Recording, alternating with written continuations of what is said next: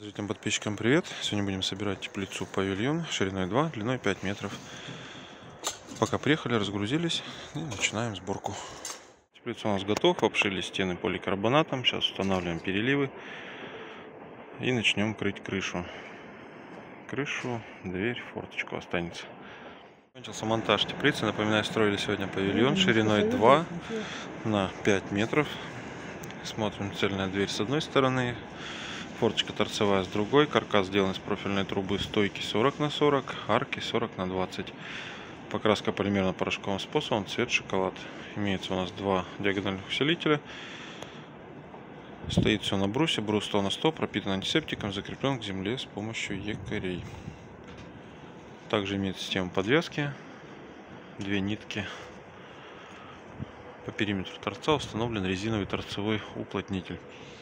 Поликарбонат 4 мм, 0,8 плотность. Все торцы защищены торцевым профилем. Вот такая отличная теплица павильон у нас получилась. У меня на этом все. Ставьте пальцы вверх, задавайте вопросы, пишите комментарии. Всем пока.